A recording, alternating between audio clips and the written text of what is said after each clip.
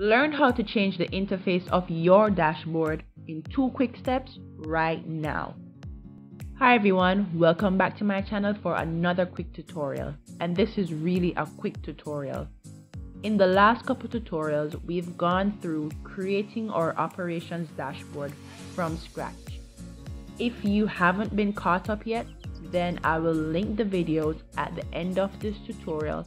I will also put them at the top of your screen right now.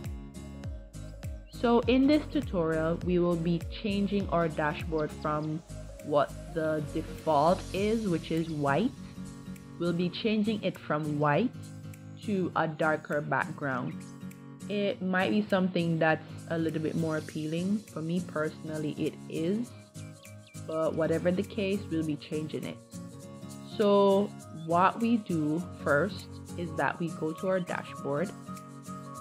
And once we go to our dashboard, all we need to do is click on view and we're here.